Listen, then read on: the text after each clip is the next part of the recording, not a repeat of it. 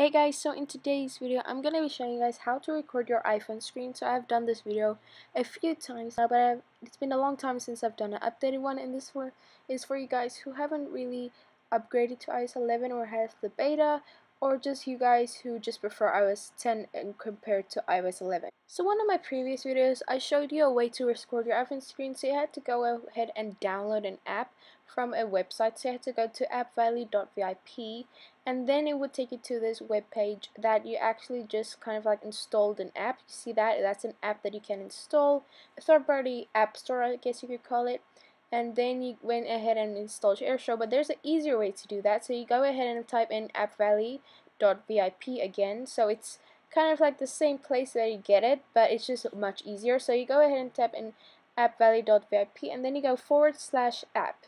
So that's when you type in, and then it's kind of like an app store online. So you don't have to download the app store and then the app. So then you can go to, go to library and apps, and when you scroll down, you will find somewhere through all those apps you will find AirShou as you can see here. And then you just click on that and then you click on get and it will then start to install onto your device.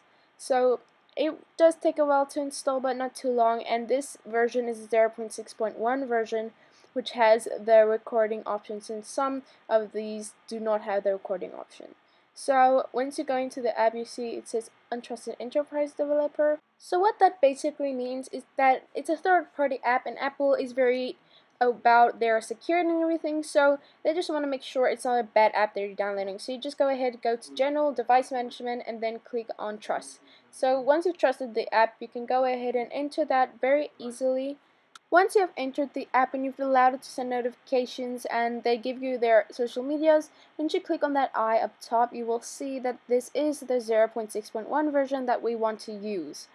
And then you can just start and use the app. So how you do this is click on record and then go ahead and just name your clip. So I'm just going to go ahead and say test since this is just a test clip.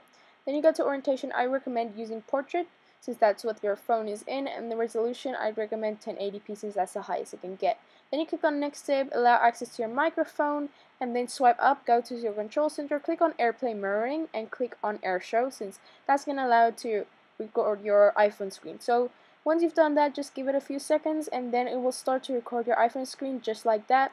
Here is the test clip. I just went ahead and just went through it and do be advised if you play this clip in your photo library and you forward it too much and too fast, it will look glitchy.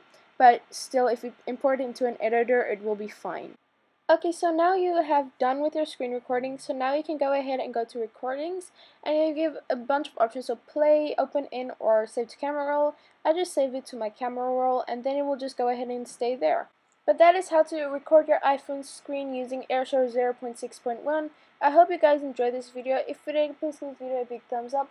Comment down below any other methods that you have and what you think about this method. And if it stops working just let me know in the comments down below and definitely subscribe. I would really appreciate that. I will see you guys in my next video. Be weird and be proud of it. Love you guys so much. Bye